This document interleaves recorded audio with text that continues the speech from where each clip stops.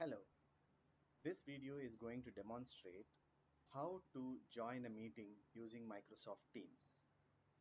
So if you have Microsoft Teams, when you open Microsoft Teams, if you are close to the schedule time, it will itself go onto a section in the calendar which will show you the present meeting.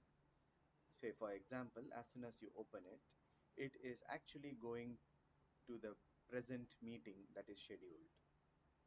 So you just have to click on join and then it'll ask you whether you want to join immediately. Once you join, you can decide whether your video should be on or microphone should be on. Presently, as I'm recording, I am keeping both the video and the microphone off. Click on join now and you will realize that there are a few people who have joined the meeting.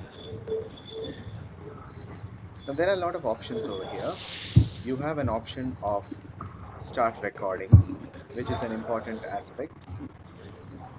Once you click on start recording, it will record the meeting and it can be visible later on also.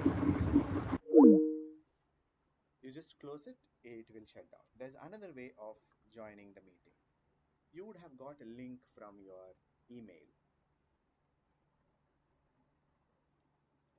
In the email, you will generally get a link like this, join Microsoft Teams meeting, wherein it will showing you the different dates.